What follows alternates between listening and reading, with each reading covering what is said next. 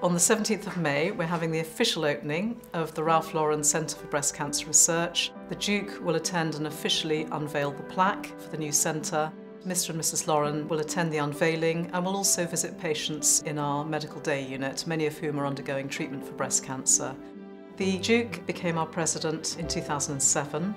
He took over from his mother, Diana, Princess of Wales, who was previously our president. I was given a humanitarian award in Washington by Princess Diana. I got to know Princess Diana at that time. She was lovely.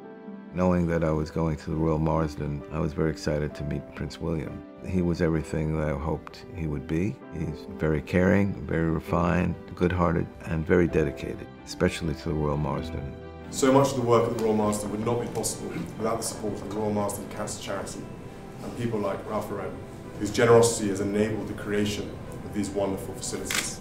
It gives me great pleasure to declare the Ralph Lauren Centre for Breast Cancer Research officially open.